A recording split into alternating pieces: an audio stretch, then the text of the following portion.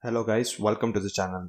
In this video, I'll show you how to enable UEFI, Secure Boot and TPM 2.0 for installing Windows 11 for an AMD processor and ASUS ROG motherboard. First, restart your computer and enter your BIOS setting. If you are using an ASUS motherboard, press the F2 or delete key to enter the BIOS.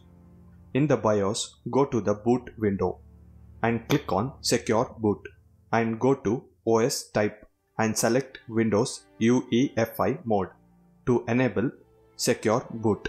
Next, let's enable TPM 2.0. To do that, go to the Advanced window and click on AMD FTPM configuration. Next, go to Selects TPM device and enable Discrete TPM if you have installed a physical TPM device on your motherboard. If not, enable Firmware TPM. Next, go back and then go to Trusted Computing tab and scroll down until you find the option TPM 2.0 UEFI spec version. After finding the TPM 2.0 UEFI spec version, select the option TCG underscore 2 and then save the changes and exit the BIOS. Thank you for watching guys. See you in the next video.